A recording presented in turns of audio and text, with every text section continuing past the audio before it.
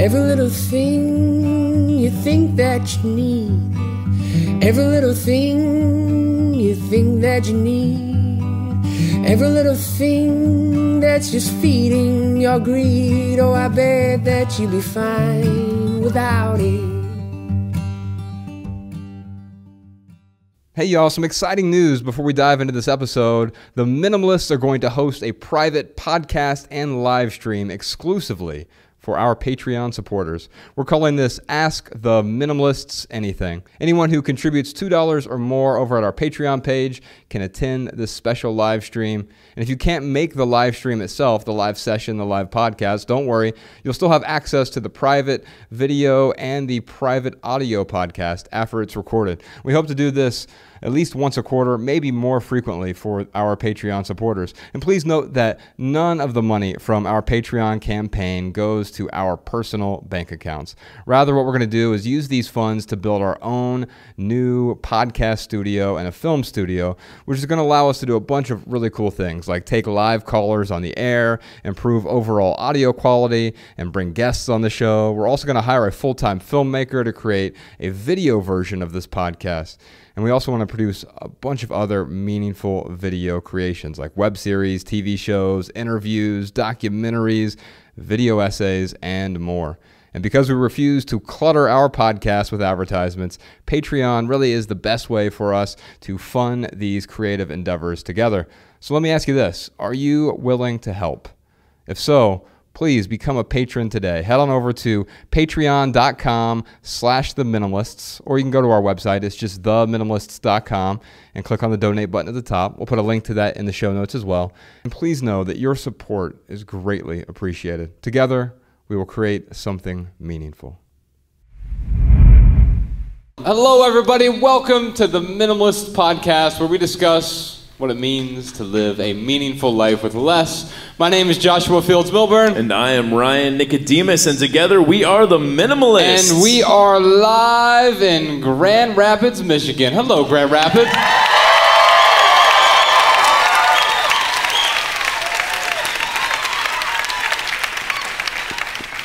What a great city. I was walking around most of the day today. And actually, we'll get to that in a little bit because we have a, an added value segment. We can talk about some really cool local things. But usually, we take this time to take callers, but that would be really weird. So um, instead, we have a microphone right here. And we're going to start with three sort of long winded answers. You can ask a regular question, we'll give you a rather circuitous, maundering answer, but uh, we'll, we hope to answer your question. So someone has to break the ice and, and, and get to the mic first, and then what will happen is everyone will cascade down to it after that, and then it will be too late because we'll do three, and then we'll do a lightning round where we'll do three plus questions. And, and Ryan and I have been, you're scoring, that is right. We're turning it into a rap battle. Except Ryan and I don't rap, so we just uh, try to give pithy answers to your questions. So uh, if you want to come up to the mic, give us your name and what your question is, and we'll be happy to do our best to answer it. How you guys doing, Andrew? Hey, Andrew. Um, I've been paring down a lot of stuff in my life, and I'm left with things like old cameras or old iPhones, stuff that I think is valuable, but it's really worthless to me. I don't want to just chuck it in the trash. So, what do you suggest for trying to figure out a, a good home for it? Let me ask you this: Do you, are you do you want to sell it? I really don't want to go through the hassle. I'd really like, because I have all these iPhones. I have like seven iPhones yeah. from just like every model. Uh-huh. I could uh-huh. have like a little collage. You could have like a museum of iPhones. I, I, do. So I'd like to give it to like, you know, maybe somebody like, you know, somebody that get some use out of it because it doesn't work like as a phone, but maybe somebody could like use it to browse the internet or, or something to that extent. Sure. I so he should start a museum. A museum of iPhones? Yes. Okay.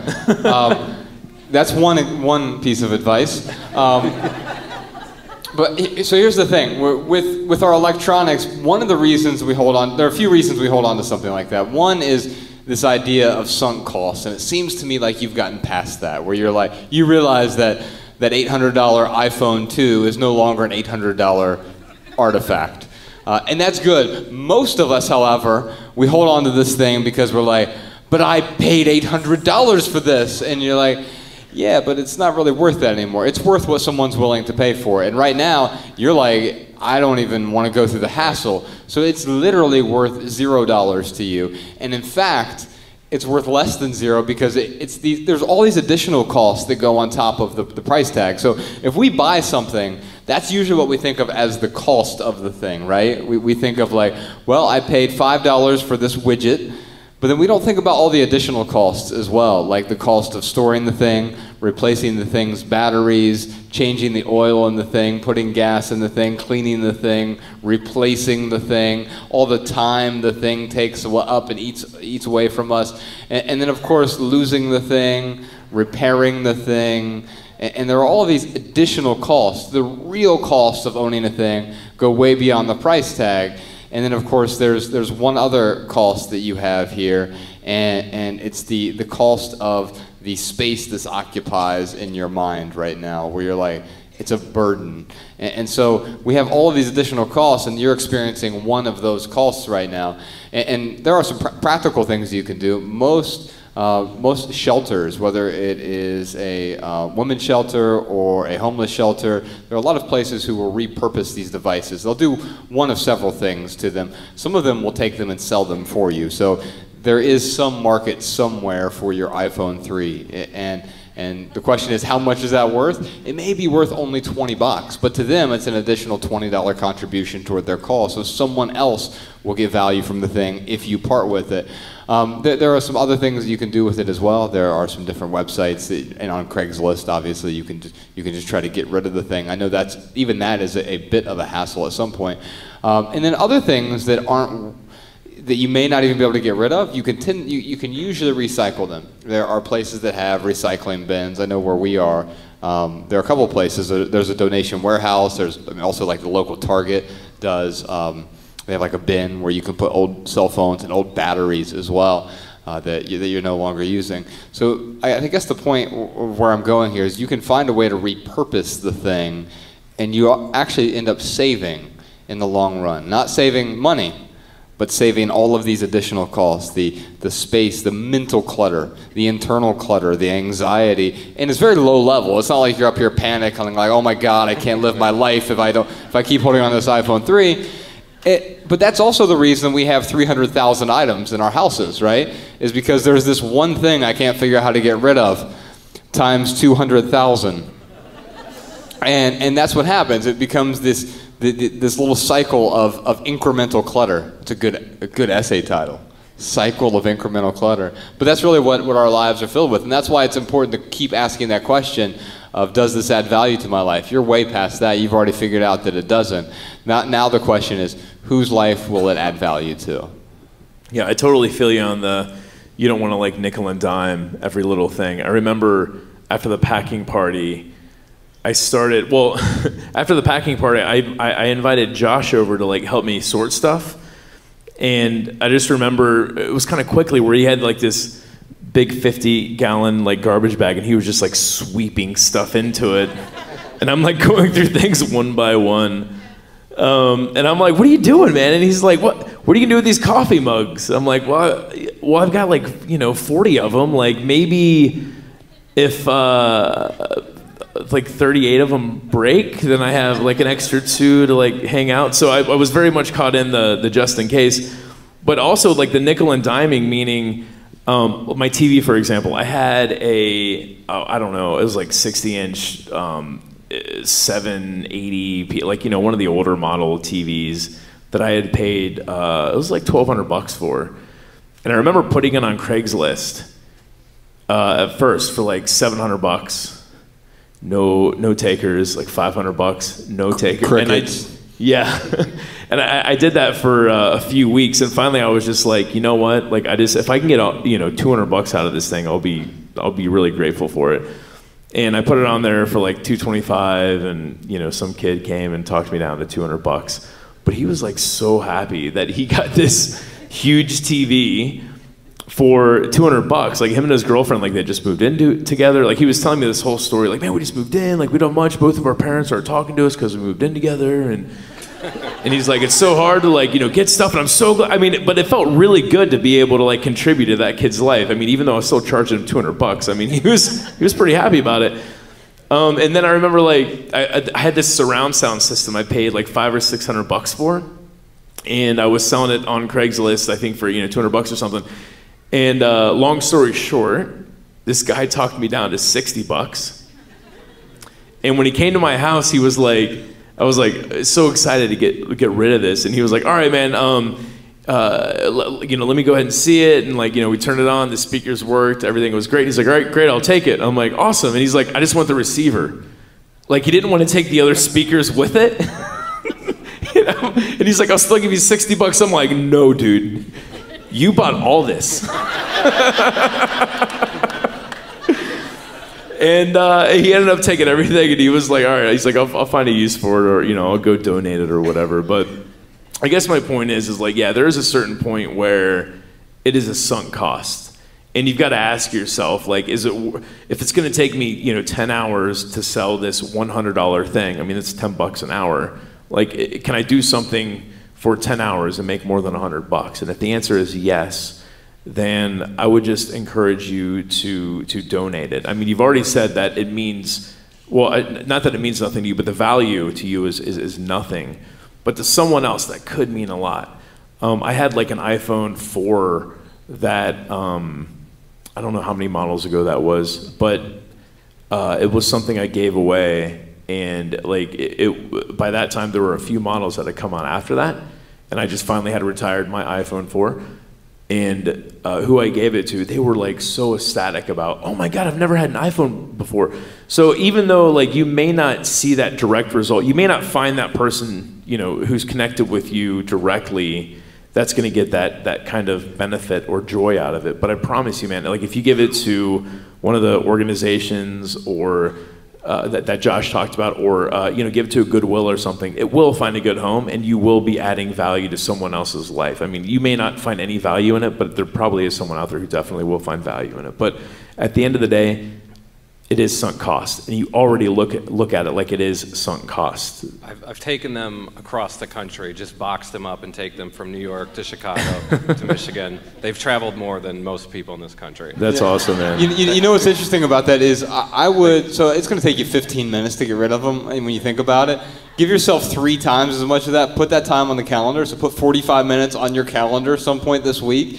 Not only does that give you a deadline, but it gives you time that's allocated specifically for that. I mean, I, I think whenever like with Ryan when he did his packing party and we spent a whole day, I mean, really busting our asses to pack up everything in his huge house. It it made sense to do it that day. Otherwise, it would have never gotten done. It was just scheduled, and and and that was that. So you can do it this weekend, and you'll feel incrementally freer as a result. Thank you. Thanks, brother. Thanks, man. Howdy. Hi, my What's your- name is Sophie. Hey, Sophie. Hello. Um, first of all, thank you for coming to Grand Rapids. Um, I was at your show in Boston over Easter weekend and it was amazing. So I found the next closest one to me and uh, came here. oh wow, Thank you. that is awesome. So my question is, how do I begin to let go of any stress that I might feel when I see my friends and family around me not aligning their short-term actions with their long-term goals? Yeah. So so let me just rephrase your question a little bit because I think it's an important question. And the the, the way I'm going to rephrase your question is. Um, align their actions with their their short-term actions with their long-term values because I, I don't really i'm not prescribing this to anyone else but i don't really have goals anymore. And um, I know that's a weird thing to hear in our culture right? In, in our culture you seem like a crazy person or a lazy person. Ryan and i are in the middle of a 40 city tour. I assure you we're not lazy. But um, we're, also um, i don't think we're that crazy. But but um, Uh, the reason I, I prefer to eschew goals is I'd rather have a direction to go in than have a a goal that I'm working toward. And, and there's a reason for that. So let's say that, for example, we're, we're in Grand Rapids right now, and if, if my goal is to to make it to San Francisco, like that's my goal. I want to travel to San Francisco, but all of a sudden I end up in Seattle or Los Angeles instead because there's some awesome detour and I ended up in, at a better place.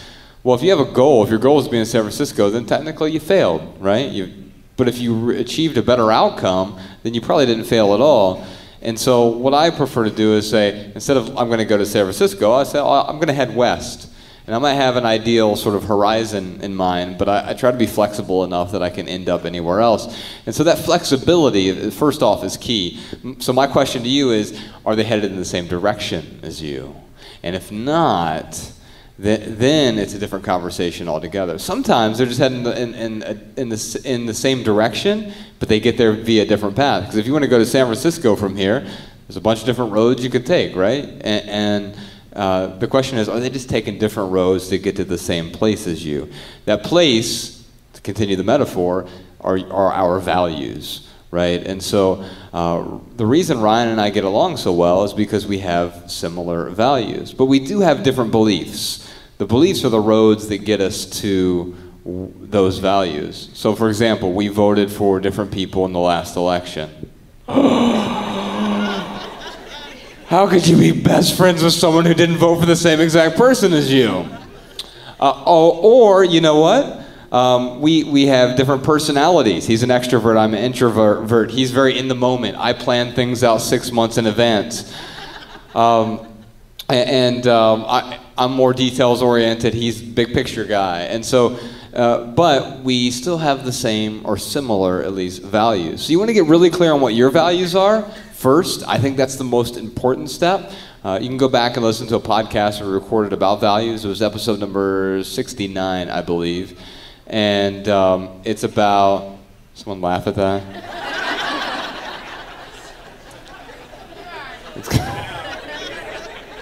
yes, it's episode 69. I get the reference. Um, okay. Uh, anyway, I probably shouldn't have paid that any mind. Real mature, man. Oh. I couldn't help it. Anyway, um, uh, once you get clear on, on what your values are, and then you can start talking to them in a way that's not like, hey, what are your values? Because then you're going to get the deer in headlights thing that Ryan was talking about during his talk. Like, you're just going to be like, they're going to be look at you like you're, what do you mean, what are my values? And you want to get clear on yours, and you want to help other people uncover theirs without saying, here are your values. But you can start to identify what theirs are. And if you're heading in different directions, sometimes you go in different directions from someone, and that's okay. And, and there's nothing wrong with that. I, I, I've never dragged anyone. Well, I, I haven't now. I mean, but in the past, like I felt like that was the right thing to do. Like, well, if you don't believe what I believe, then I better hold on to you and drag you kicking and screaming until you know that I'm right. Well, how's that work out for anyone? I mean, even now, we're not out here telling people that we're not proselytizing. I don't want to convert you to minimalism. By the way, I don't think that's possible. Like, I just want to share a recipe that's worked really well for me, and I've seen that a similar recipe work really well for thousands of other people. And, and in doing so, me heading in that direction, a lot of people are willing to follow because they see the value in that as well. And so, even people who thought I was crazy when I first, when I, when I walked away from the corporate world, so um, I, I walked away and every, everyone was asking me like, what competitor are you going to? And can you take me with you? And I'm like, no, no, no, no. I'm, I'm just gonna go write. Like, I wanted to write fiction full time. That was my whole thing. I was gonna work at a local coffee shop, and and then this whole thing happened, and it was a beautiful accident. But um, I I found that some of those people like said, well, it's just it's crazy. If you're you can't just like go pursue what your dreams are and, and I said, well, maybe you can't, but I've chosen to, right? And you can't only because you're, you're saying that you can't. And you have a limiting belief there. And, and so did I for a long time. And I'm going to start walking in this direction. And they're like, yeah, whatever. This guy's crazy. He'll be back or whatever. And the truth is, six, seven years later, they're calling me asking for advice. And that's because I continue to go in a direction where I knew my actions were aligned with the person that I wanted to be. That's my short answer. um, I gotta. I, I have one question before I answer your question. Did you say when you hang out with people and their actions don't align with their values or don't align with your values? With what their values. What their values are. Might be. Might be. So okay, so I've got like some friends and family who, uh, and I'm probably guilty of this at some point, where I'm like, man, I really should do X, and uh, my actions are completely different than what. Like, I would love to become vegan again, for example. Right? Don't applaud me yet. because I just had some like a delicious lobster roll earlier today. Yeah. But I mean, my point is, is like, I would one day uh, like to go back to those principles. I have not made it a priority yet, and I'll tell you, uh, the best thing that anyone can do for me, Josh, who I'd probably see more than anyone, is is to support me, and to, and to really go out of their way to accept who I am and not try and you know, force me into whatever that may be. I mean, at the end of the day, um, if someone if someone says, "Oh, well, you know, I shouldn't uh, I shouldn't uh, put things on my credit card anymore," and then you see them going out to lunch and they put things on their credit card, like to say to them, "Hey, wait a minute! You said you weren't going to put any things on your credit card anymore." Like that is the worst approach to take because a you're embarrassing them b you're making them feel guilty and that's always going to cause a little bit of resentment. I mean th- that's just a road to not go down for sure. So i, guess uh, unless that's what they're asking for. well yeah I, unless I also they- know yeah, Ryan. that's true that's true And, and if, if he was like, hey, Josh, I'm going to become a vegan tomorrow, he would say something like, and if you ever see me eat a piece of meat, slap it out of my hand. right So they, it's, it has to be what they want, though. right so that so maybe maybe the answer is is is to not ask us what to do but ask that person what to do and you know the next time you hear that person say oh man you know this is really what i want to be then you can ask them like hey what can i do to help you to get there? And that's what a good friend does and that's what a loving person does. And i'm sure the people you're talking about you know you love them you want them to be happy and in that case you will support them. And at the end of the day just ask them how to support them. Uh, but certainly calling them out and uh, yeah trying to trying to be their you know authoritative uh, figure is not going to it's not going to get you lasting results if any results at all Yeah, and one, one last thing. Uh, surround yourself with some mentors. Uh, people who, who, I'm not saying that are like actual mentors where you're like, I want you to be my mentor. Uh, That's usually not how mentorship works. But, but um, we often think it is. Like, I'm going to reach out to this person and tell them I want, I want, because if, if someone comes to me and says, Can you be my mentor? I'm just thinking, like, shit, how much work do I have to do? But I also know that like I'm a mentor to a lot of people in different capacities, right? And so surround yourself with people whom you aspire to be like, people who are older than you and people who are younger than you as well, who have who have different perspectives, different personalities, different beliefs. You know, I uh, I encourage you to find tho- those different paths so you can so you can continue to figure out and make sure that you personally are on, on the right path. Thank you. Thanks for being here. thanks Howdy. Hi, I'm Amy, and I may have made the Dutch Mafia comment. um, and I apologize because as I'm standing in line, I probably ignored all the things you said for the last two people that were in line because I was focused on my things. So um, I apologize also if I get emotional a little bit. Um, my dad died two weeks ago.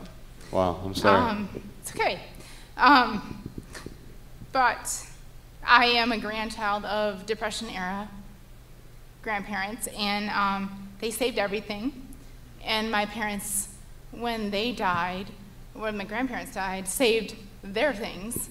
And now that my parents are di- my my dad passed away, I have three generations of things that I am going through. And um, I come from a hoarding background a little bit, and so I already, ho- I already have my stuff. My stuff. Um, so my question, my question is, I don't know if I have a question. It's just, how, how, how do I handle all of this? My, my, my dad passed away, my rock, my best friend. Um, I'm handling all of this. My mom has dementia, and I'm handling all of that. And on top of that, I have their stuff. Yeah. I have eight boxes of pictures in my living room right now because I had to go through them. And they're sitting in my living room. How do I handle that? Well, let me let me ask you a, a question first, and it's an important one. What the fuck is the Dutch mafia? you got to tell me. I have no clue. We save money and save things, and we wear wooden shoes. okay. And they're super cheap. Okay. That's right. Okay, so We are Hollanders, and we like it. I asked that question specifically for a reason. It was to change your state a little bit, right? And, and to make you smile a little bit. Because I can tell you, it's, I, I understand how overwhelming and how, how saddening um, that experience is. You know, I went through it my, myself. Both of my parents have passed at this point. And, and I can tell you the most important thing for you to do right now is, is A, not be isolated, and B, find ways to change your state short term. And that can mean change your physiology. I just stood up out of my chair. That's one of the ways you can change your physiology right away. When I used to manage a bunch of employees and they, they come in, because I managed, you know, I managed a bunch of retail stores, 150 retail stores, which is really ironic for a minimalist. um, I wouldn't do that again. In fact, that's why I left, because it didn't align with, with my values. And, and, but when I was managing, it was a bunch of like, hormonal 21, 22 year olds, and so they're you know, constantly either manic or depressed. And, Or and both at the same time. yeah, yeah, well, within an eight hour Yeah. shift for sure. And, and so, like, they would get, ah, my boyfriend just broke up with me. And I'm like, look, here's what you got to do. Um, I want you to go in the bathroom right now, lock the door, look in the mirror with the biggest smile you've ever made. Put that smile on your face, and I want you to jump up and down for 10 seconds in the mirror. No one's going to see you, but if you do that and you come out, then I'll keep talking to you about this, this issue. And I know it sounds crazy at first until you try it. And it is, it's not crazy, but it's stupid. You're gonna be like, what, what the hell am I doing, right? Like, I just got this big smile and I'm jumping up and down. But all of a sudden, you feel that, like, it's impossible for you in that moment, not long term, but in that moment, for you to feel that same level of sadness or depression or anger or frustration or overwhelm because we have the physi- physiology to actually change that. And so, so when I started teaching that to, to different employees, um, I saw that their results were better after they went and did that. It had nothing to do with, with like the, you know, I mean, I was happy that like maybe it helped them through a, you know, a moment where they were feeling sad about a breakup. But their results in real life, you know, for them it was like they were doing better uh, during their work shift. But I found that the same for me. When I change first my physical state, and then I change what language I'm using around, instead of I'm overwhelmed by stuff, may, maybe you start saying things like, um, I miss my father, but I realize that he's not in these things. And if you start changing the language around these, these things, you'll find that it's A, easier to let go, but B, it becomes necessary to let go. Because these things aren't doing anything for you except giving you those negative emotions. And we, we both know your father wouldn't want you to experience that at all. Man, um, so it's been only like two weeks, so this is this is hard. This is really hard, and I don't want to. There's nothing I can say to make it easy. Um, in fact, re- regardless, I guess, of where someone sits with uh, something that you've had to go through, or whether they're sitting with a hoard of things in their house, I mean, there isn't really an easy answer. Um, I mean, that's why in the beginning I'm like, hey, I'm talking about a deliberate life. It's not a perfect life or even an easy life, but a simple one. And unfortunately, I think we we look at simple and we find it synonymous with easy, and it's it's not. It, it is a very difficult thing. So I guess like the first piece of advice I would say to you is wait wait until wait until some time has passed and you're ready to like go through everything um, but you're going to have to come up with a plan on how to deal with all this stuff, whether it is with other family members or whether it's with friends. You certainly need to have some kind of support and some help to go through all of this. But I think that's where it starts is coming up with a plan. So, like the pictures, for example. Um, I know that like I used to have boxes and boxes of pictures, and when I went through it, I'm like, okay, I'm gonna scan. I'm gonna go ahead and scan all these pictures. Yeah, like it, as long as you call I it. A, spent two and a half hours at Kinko's for like a fraction. yeah, and, And it's it was like forty dollars. I'm just putting it. yeah, yeah, yeah, and, and it's like And I'm Dutch. Yeah. so that's like a million dollars in, Yes, in. Dutch terms. I got you. Um, well, you know, uh, even though Josh was like, "Hey, let's have a scanning party," which putting the party at the at the end of anything. I mean, it sounds fun, and you, and you got me hooked, but it's still Only if drinks are involved. Right, I was gonna say, I'll bring the beer.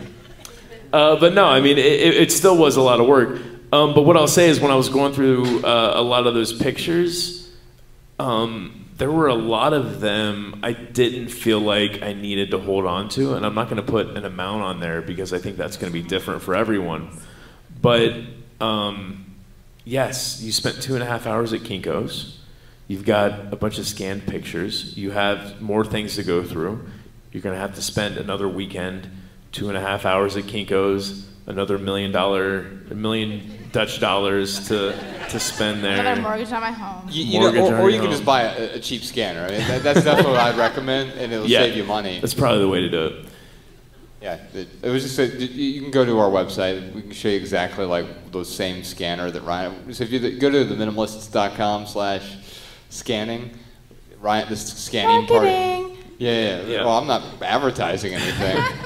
it's it's our website. and No, it's it- free. Yeah, Um, you don't have to get a scanner. You can keep spending forty bucks every time you go to No, Kinko's. no, no, I we don't care. this. I. No, no, but it, you know, at the end of the day, um, it's. I I wish I could be like, you know what?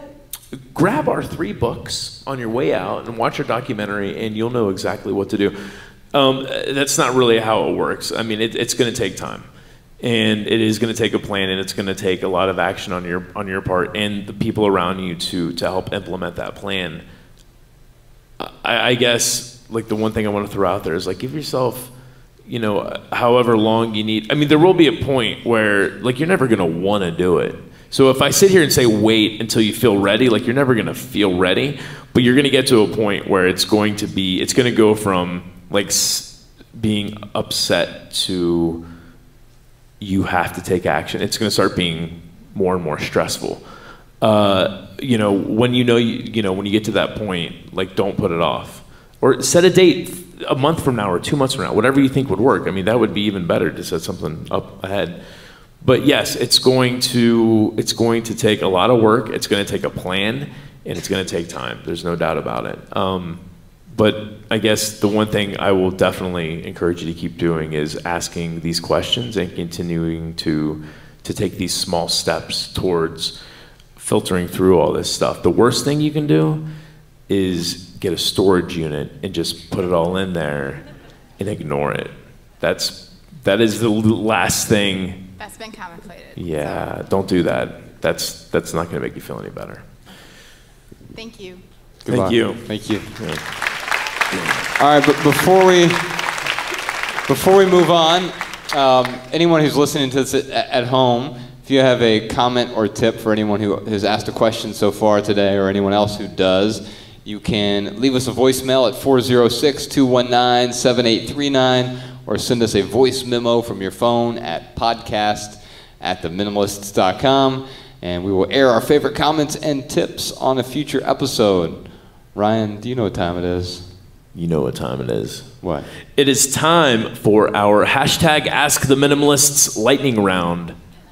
Yeah. Nice. We are on uh, Twitter and Instagram and Facebook at The Minimalists. And during the lightning round, this is where we, we do our best to answer the questions with a short, shareable, less than 140 character response. And the problem with that is we usually have a week to prepare our answers to your questions. And now we have, instead of seven days, we have like seven seconds. So we'll do our best, but we'll probably we'll probably maunder on a bit and eventually come up with a, a pithy answer for you.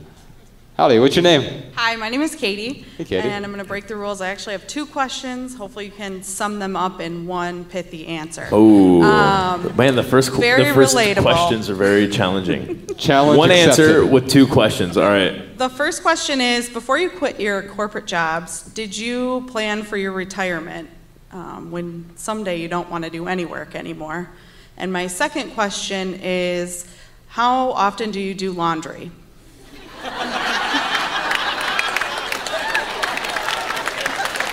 Oh man. Um, I have a pithy answer, but I want you to go first. All right, so, so the first question had to do with retirement. And so, how do we mix re- retirement and laundry into one response for you? Oh man, I was all right. I'll give you my pithy answer. This is kind of lame, but this is like this is kind of my. Uh, all right, so once a week I do laundry, and once a month I contribute to my retirement account. Oh, that is good, man. I'm not even fucking finished. Well, you're going to ruin your own answer. Both are non-negotiable. Ah, yeah. There's a little bit of applause there. I heard someone woo. I got Yeah. applause and one woo. All right. So, but before I left the corporate world, yeah, absolutely, I, I contributed just to my 401k out of out of every paycheck, and um, you know, in fact, if you want to see, this is not my pithy answer, but if you, if you want to see my net worth down to my pin, down to the pennies, give or take some market fluctuations, um, you can just go to theminimalist.com/slash retirement. Yeah, I think that's one? it. Yeah. Um, yeah, yeah, and you can see like exactly what what I how I allocate my my retirement, and you'll also learn that we're certainly not millionaires. Um, but um, not that there's anything wrong with being a millionaire for the millionaires in the room. Wait, I thought Congratulations to you. I thought once I thought once we got on Netflix we were millionaires. Unless you're hiding some money from me. This is going to be a whole different documentary 20 years from now. Um, and so, and also in the corporate world, I, I own 70 Brooks Brothers dress shirts. So I never did laundry then. Uh, but, uh, God, man, your answer was so solid. You can concede. I will concede this one. Yes. But, but I, I don't know how that makes me feel. They applauded louder to your conceding. I think you kind of won that. But I, I will tell you, uh, my answer is actually the same as Ryan's. I, I still plan for for. Um, I, I don't know if you'd call it retirement now. I feel retired now, and it, it's awesome. But I plan for the future, right? Whether that's home ownership someday, or or emergency fund, which is important. Um, so there's some some pithy truism about fail to plan and plan to fail, but I won't I won't I won't deploy that one since I've already conceded. Thank you very much for your question. Thanks a lot.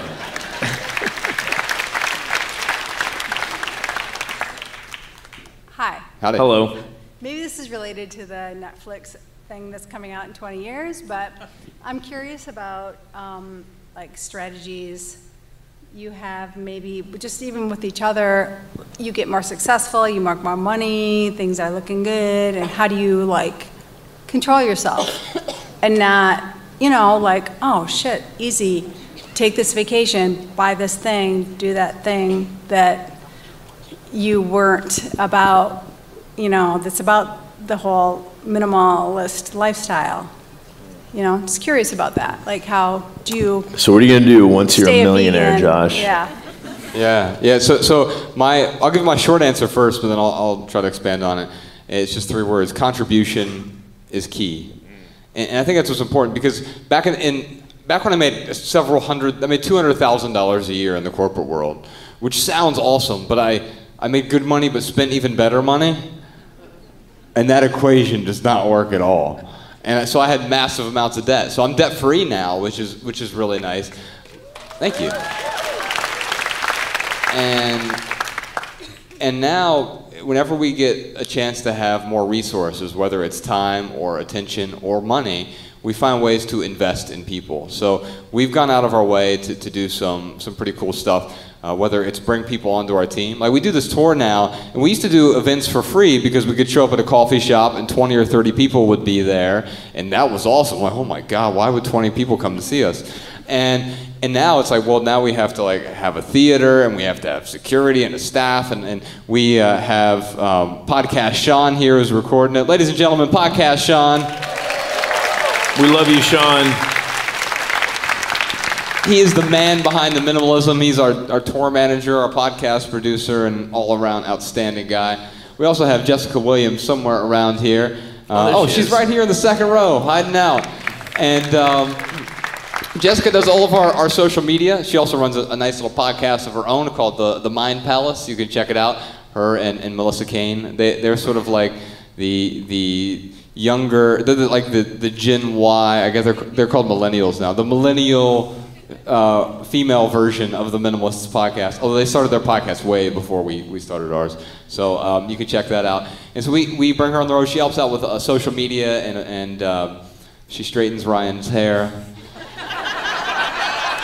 You said you would not talk about that in front of hundreds of people. Oh, I thought you said to talk about. Oh. Uh, yeah. Anyway, um, uh, she does a lot of great stuff for us while we're on the road. But we, we have an entire team of people now. But uh, beyond that, we find ways to contribute to to different communities, and, and I find that that's important. So last year we built a elementary school for 66 kids in Laos. Uh, we funded a high school for a year in Kenya. When the uh, thank you. Um, and, and we've done a bunch of things on top of that. So, so we, we um, the Pulse nightclub shooting, we found a way to do a charity event down there and, and help the 52 living survivors of, of that terrible shooting. Um, we tried to help them as well. Thank you. And right now, did you know, well, did you know that of all the people who have ever lived on Earth, half of them have died from malaria? 50% of people who have ever lived died have died from malaria. And so uh, this month we're, we're doing something interesting. And we're actually looking for, for people's help. Uh, for every review we get on our podcast which helps the message get out to more people uh, review on itunes that we get ryan and i are donating 10 bucks to the against malaria foundation. It takes about $3500 to buy a lifetime of insecticide treated nets to save one life. So you know, about two to five bucks per net, but over a course of a life, it takes thirty-five hundred dollars. And so, thirty-five hundred dollars literally saves one, someone's life. So, if we get, you know, every there's more than three hundred fifty people here tonight. If everyone who were here here tonight left a review, we'd find a way to save at least one life. And so, I like to do things like that, but also encourage other people to contribute because Ryan and I can only give so much. And so, find other ways to get people involved, whether it's locally in their community with. Uh, food ki- soup kitchens or, or food banks or Habitat for Humanity or any of these other places where you can contribute to your community in a meaningful way, I, I think that's important. And so contribution is key.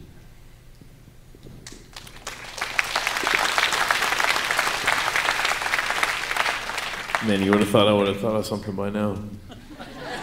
Um, you know, I just, I really love the contribution aspect that uh, Josh and I have been able to do, especially in 2015. Um, like we, I have a friend who has a nonprofit coffee shop in Paksong, Laos. Like it's the middle of nowhere for all intents and purposes. Like it's one main paved road, and there's a bunch of dirt roads that shoot off of it. It's just like village after village after village, and they all are coffee farmers. And uh, yeah, long story short, like he opened up this coffee restaurant, um, ca- a cafe, where all the proceeds go towards uh, building wells and toilets and like whatever like these villages need. And when uh, he talked about how he was trying to build a school, like it was so cool to be like, oh, dude, like we can help you do that. Like, how much does it cost to build a school in Laos? And it was like fifteen thousand bucks, which is, I, mean, between the, the, you know the folks that we have visiting our website and Josh and I, um, it was it was um, it, didn't take long to raise fifteen thousand bucks. And going over there and like looking at the school that they had, which was it was like a two-room shack uh, two rooms, and there was a wall dividing it this high. So like you had For people listening, it's like four feet. yeah. yeah. Three and a half feet, but whatever. But no, it's like it was like and it was like a size of like a quarter of this stage, uh, not very big at all. And the teachers had to talk over each other when they were giving lessons because like there wasn't like a full wall. And when it rained, they canceled school because it was dirt floors and like it would be. I mean, it was just like, um, man. I mean, just like really, you know, kind of grounded me a little bit. Like, wow, like this is what kids learn in, and it's 2015. Uh, the school we built, it was a four-room cement, like very nice roof. They were like super excited about the toilets. Like in this shack, there were no, there was no outhouse even. And in this new school, like they had, you know, boys and girls outhouse, and they were like, "Thank you so much for these toilets." And I'm like, "Wow!" Like I mean, this feels really good. I mean, I would love to do more of that stuff. I remember uh, when I was, um, they do like this whole. Uh, the village gets together and they do this whole like party ceremony for you, like just basically to say, hey, thanks for you know coming out here and, and doing this stuff, and, and, and making this possible. And uh, I remember, well, first off, like there's a translator, right? So everything I say, I have to wait a few seconds, and then they translate it. And of course, I'm like trying to like crack some jokes, and none of them are landing. I mean, they were funny jokes. These people just had no. No, I'm kidding. it's it's hard to translate and you know uh, uh, my jokes into other people's languages. I learned that you know public speaking 101 there. Like, don't try to crack jokes when someone's translating for you. Um, but there was a point though where uh, uh, I was like, you know, thank you so much for doing this ceremony and the whole time, like they were from, you know, I got from the translator, the whole time they're like, oh, thank you for the American money and the Americans coming out here and giving us their money and making this possible. And when I, when I was telling them, I'm like, you know, thanks for all this recognition. I'm like, but at the end of the day, like, it's the community that made this happen. The money, like, that was the easy part. Like, you guys coming together and building the school, building the toilets, getting together and, like, make all of this happen, like, that is what we lack in the States. And that every single person got. Like, I saw everyone, oh, yeah, no, you guys, yeah, no community there. So, I mean, that's why Josh and I do this really, is uh, we really want to contribute. Um, ultimately, I think we really want to bring communities together. And I guess uh, if I had to give a short answer, I would say, well, all that aligns with my values and beliefs, right? So I guess what I would say is uh, every day I try to be the best version of myself five years from now. That's all I got, yeah. Thank you. I think I tied it up there. It means we have time for one more. I want to apologize to anyone else who's in line, but I know we have to move on eventually to kick us out. But we have we have a tiebreaker. Sir, what is your name? Jason, what's up, guys? What's How's up, it going, man? brother? So no pressure, right? yeah. right. All right. So uh, quick backstory. Last summer, my wife and I sold our house and nearly everything inside it to pursue a minimalistic lifestyle. So during that process, we had to convince our friends and family that we weren't batshit crazy. so since then, my question is emotionally, how do you navigate just in case when purging sentimental gifts that you've collected over the years from those people? And how do you communicate to them that you no longer need that shit?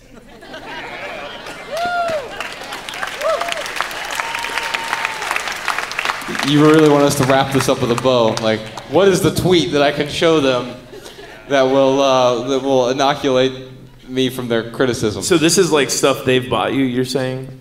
Or it's just stuff in general? So it's like, so we sell the house and all of the shit from Art Van and Williams and Sonoma, all the all the shit on our wedding registry, right? So we had, right? So like, Yeah. in three years we sold twenty five thousand dollars worth of shit. But- wow. but we- Congratulations, though. Oh, That's thanks. awesome, man. That's great. You know, but you keep the random dumb thing that your mom gave you 10 years ago because if she finds out you sold it in a garage sale, she'd kill you. So how how do you like and she knows this this process you're going through. So how do you communicate to her that it's like Mom, I'm never going to use this. I'm never going to set it out. Guests don't care that it's there. So, how do you get them comfortable with you getting rid of it because you really don't want it? And then, how do you get them to stop buying you more of it every Christmas? Man. Wait, that's kind of two questions. I, I'm, Are we I'm, I'm thinking about. Um, I got married when I was way too young to get married, and um, we got three bread makers at that, and I don't eat bread. Dude, I thought you wanted to start a bakery. and and so three different bread makers, all this actually the same bread maker, but there was just three of them on the table, and uh, to me that was sort of like the perfect metaphor for consumerism, like and obligatory gift giving in particular. Right. And so it's really two sides of the equation. What you're saying is, how do I get rid of the stuff and communicate that, but then how do I prevent this from happening in the future?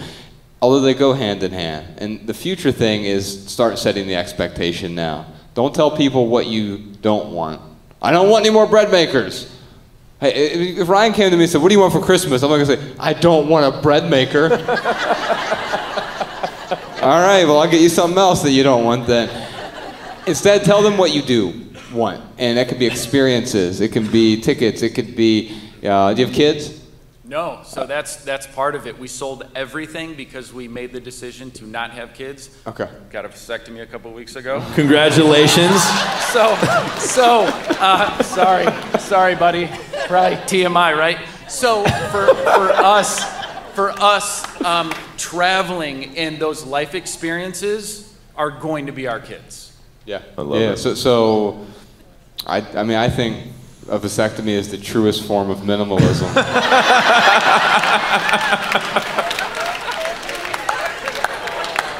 you, you, you quickly jettison the condoms. Saving money already. There you go. Um, that- that's my pithy answer. Good night, everybody. No, so so I mean I think I think it's about um, uh, so so uh, it has something to do with expectations here. So, so um, before you let go, set expectations with yourself and others would be my short answer. Um, my my uh, rant on my, my sh- short rant on that would just be that um, man, the people in your life they want you to be happy. They care about you. They want to be supportive if they do care about you, right?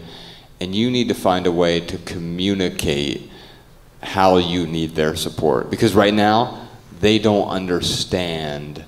Um, and it's going to be different for each person, by the way. And for some people, it's as easy as a talk. I know with Ryan, if he came to me and said, I got you another bread maker, I'd be like, Ryan, stop it. What are you doing? And, and, and he would do the same thing to me because we have that type of relationship. Other people in my life, I'd be like, oh, that is such a nice thought.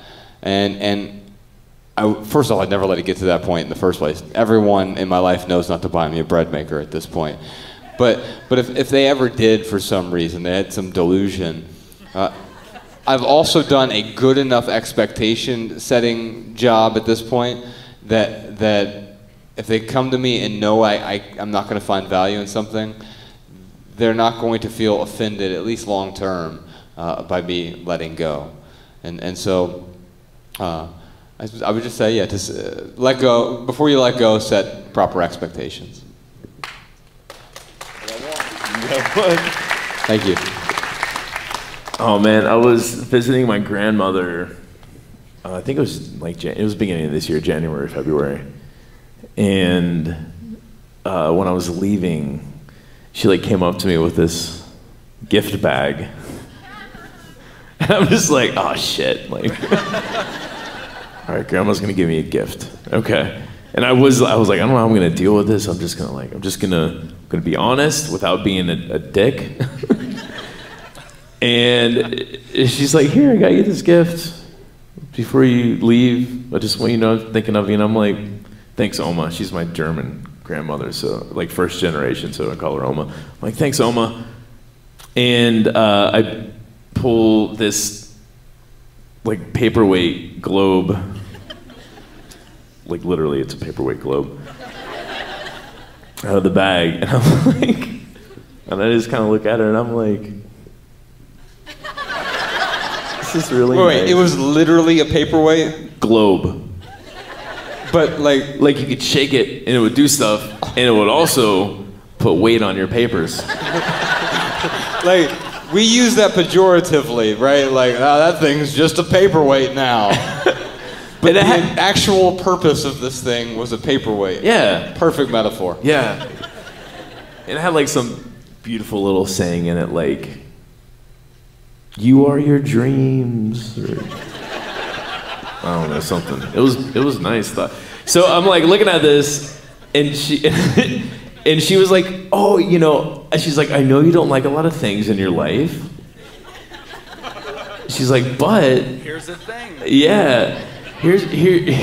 I know you don't like a, lot of things in your life, but here's the thing.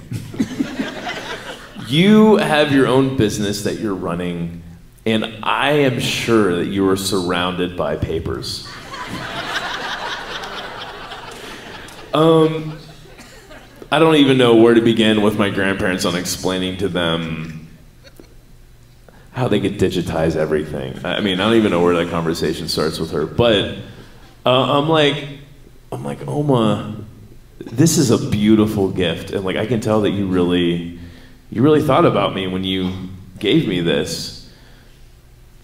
It's gorgeous, but I'm not gonna have any use for this. And you know, I would really love to find someone else who could use this. And she was like, That's okay. She was like, I just I just wanted to get you something and if you could find someone else to use it, like that would that would be great. And I felt really good about that interaction with her. Um, she was happy to give it to me. Um, I definitely showed appreciation for it. Um, but at the end of the day, I was like completely honest with her. I'm just like, you know, I'm not, I'm not gonna like take this, and be like, oh, nice, and then go home and just get rid of it. And she would never know. Right. But you know, I, I didn't want to like hide anything from her. Um, she, it did not hurt her feelings. I guarantee it. Um, and, and, and she still loves me, and uh, I, she probably won't get me a paperweight again. But the thing is, if I wasn't honest with her, you know what she might do? Is be like, you probably got multiple stacks of paper. I've got this other paperweight you're gonna love. So I kind of nipped that in the bud right away. Um, but at the end of the day, if I took that from her, so she gave me a gift to be happy, she wanted me to be happy with that gift. If I went home with that and I held on to it out of sentimental reason, if I held on to it because I, I thought that that's what she wanted me to do, but at the end of the day it made me um, unhappy to hold on to that, it's kind of doing a disservice to my grandma. I mean, at the end of the day, like she gave that to me to be happy. And if it's making me unhappy, like if I gave you a paperweight and you were like unhappy with it, I feel like a big jerk. I would just be like, oh, well, just get rid of it, go donate it or get rid of it or something, man. I don't want you to be unhappy. And I know that's how my grandma feels too. So anyone that gives you a gift and the gift is causing stress in your life, I promise you that that person does not want to cause you stress. So at that point, it's okay to find that thing a new home, even if someone gifted it to you. Because at the end of the day, they want you to be happy. That's why they gave you the gift. And if not having the gift makes you happy, I assure you, they don't want you to hold on to it. Um, the other thing, too, thank you, that's one applause. I just need 20 more to win this. No, um, I think at the end of the day, anyone who is offended by you getting rid of something that you gave them, that's on them, man. That's a pro- that's them projecting this insecurity of, oh my god, I didn't know what to get this person, and you know what, they didn't, and that's okay. It doesn't make them a bad person. That also doesn't mean that they have to, you know, be mean to you because because you got rid of the thing. Um, I guess my short answer would be, as an adult, you get to choose what to do with your things.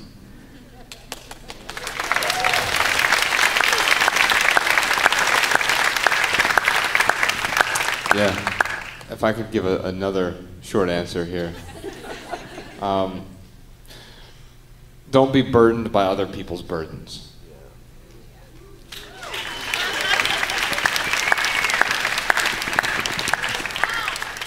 All right, Joe. Well, let's uh, let's move on a little bit. Thanks for your question, brother. Appreciate You're welcome. it. Thank Appreciate you it. guys. So, uh, are we hugging or what? Yeah, Hell dude. yeah, we you want are. a hug right now? Come get one. Bring it in.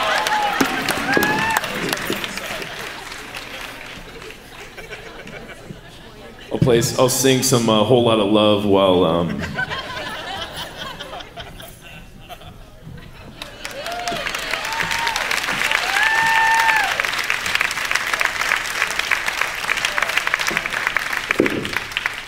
Those hugs are free and transferable afterward, but we're not done yet. We're still we're still recording. Thanks, Jason. Appreciate it, brother. Um, so um, we should probably move on to our added value segment. So we usually talk about like things that have added value to our lives recently, and this is the part where I just recommend the most recent Drake album or something. but uh, I heard someone go. hey, we love Drizzy. I'm just saying. Uh, but since we are we're, we're in a, a different city, we get to you know, only we- we're only here for a day or two. We go to most places, so we try to find great coffee, great food, museums, etc. And, and then we have a chance to talk about. it. So Ryan, what has been adding value to your life today, or while we've been in Grand Rapids? Oh man, um, fish lads, where I got the lobster roll. God, for I had no idea I could get a lobster roll in Michigan, and it was freaking good. Dude, we're right by the water.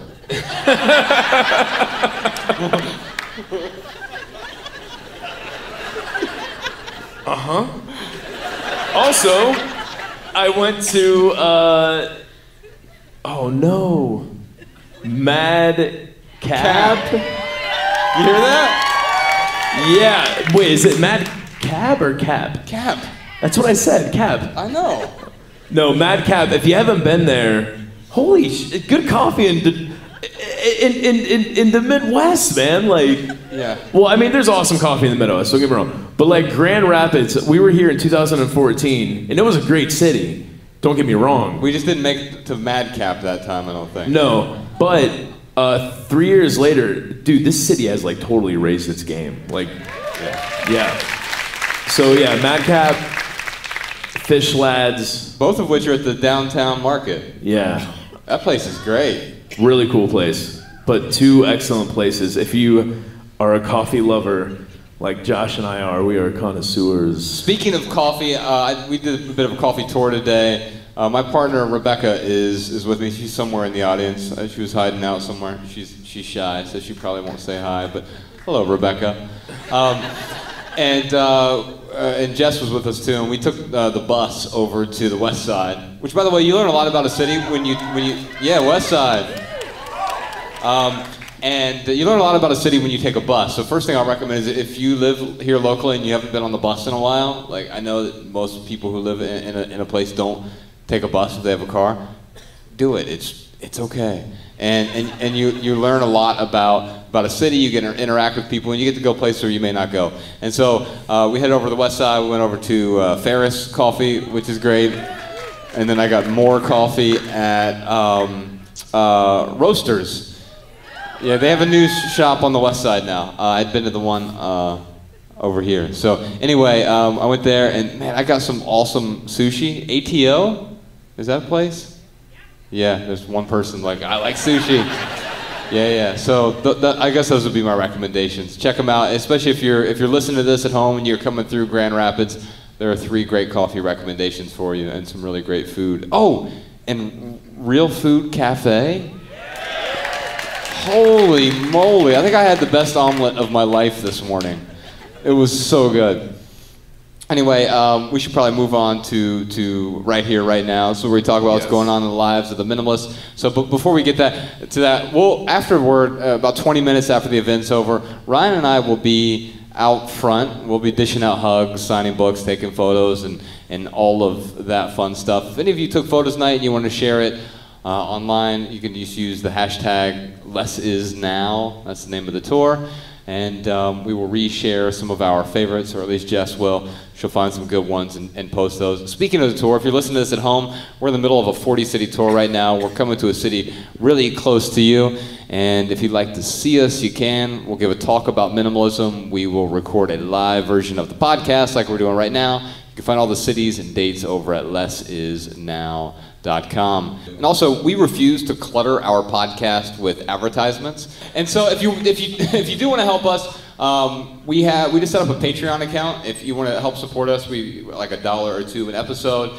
It, none of the money goes to me or Ryan, by the way. It, we're building a new podcast studio and a film studio, so we can create some meaningful video creations, and also we can so we can pay Sean, podcast Sean, a full-time living wage, support his whole family. Yeah, thank you. And even if there's any money left over from all of that, none of that goes to me or Ryan either. We'll, we'll donate any of the additional proceeds to charity. So if you if you want to help us out, if you want to help us create something meaningful, we're not going to put advertisements on there, but we could really use your help with that. You can just go to theminimalists.com and you can click on the little donate icon at the top. You can find our, our Patreon page right there. I know you paid to get in here, and, and we certainly appreciate that because it allows us to, to pay the staff the venue and everyone else. And Ryan and I don't make any money from touring but you spent more than your money to come here tonight. You, you gave up your two most precious resources for a few hours, your time and your attention, and we're grateful for that. And uh, I don't know where, where you're going from here, but if you leave here with, with just one message after all of this, and, and hopefully we'll, we'll see some of you at least out in, in the lobby after this. We'll, we'll take about a 20 minute, 25 minute break or so, and then we'll be out there. But if you leave here with just one message, we hope it's this love people and use things because the opposite never works. Thanks for being here, y'all.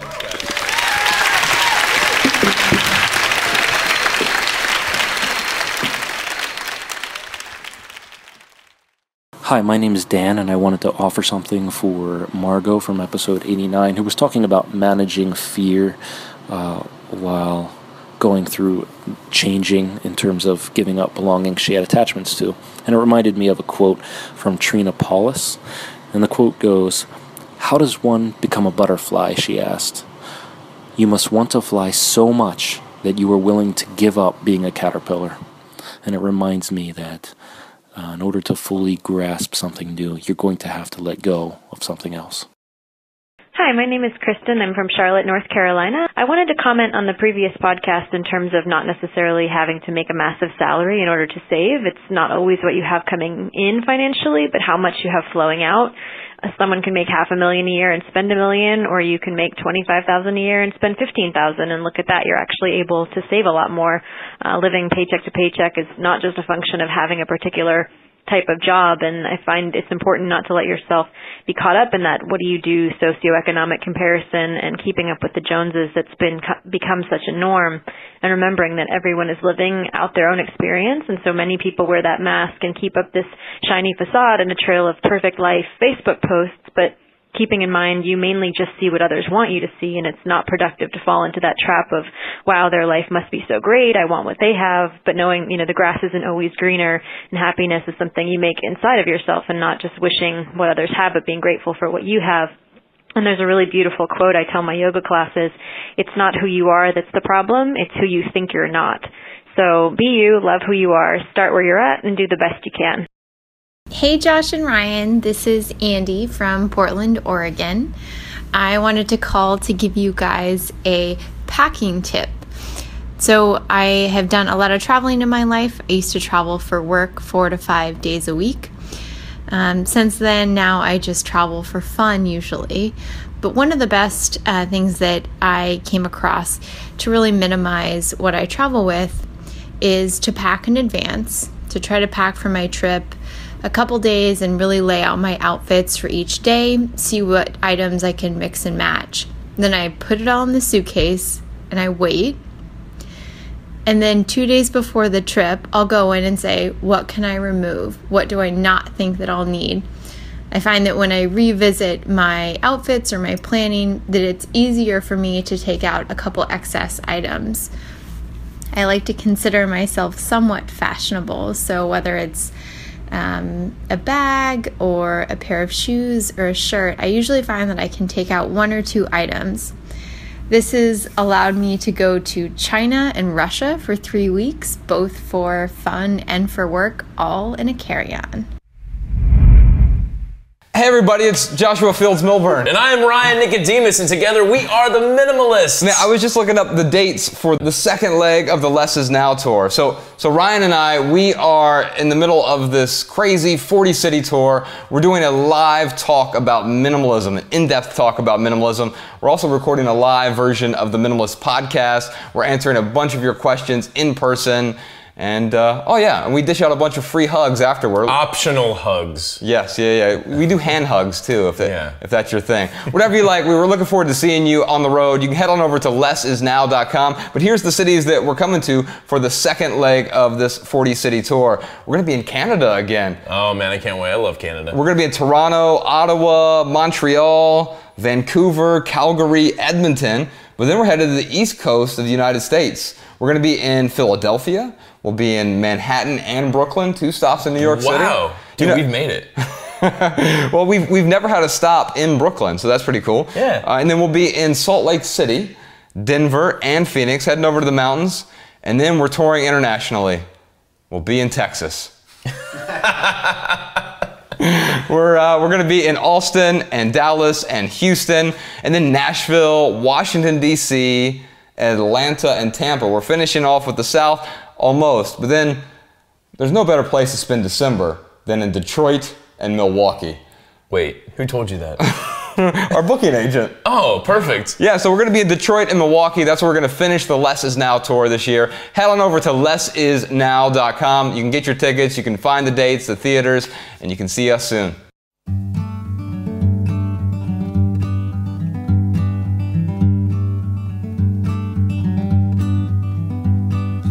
Every little thing you think that you need. Every little thing you think that you need. Every little thing that's just feeding your greed. Oh, I bet that you'd be fine without it.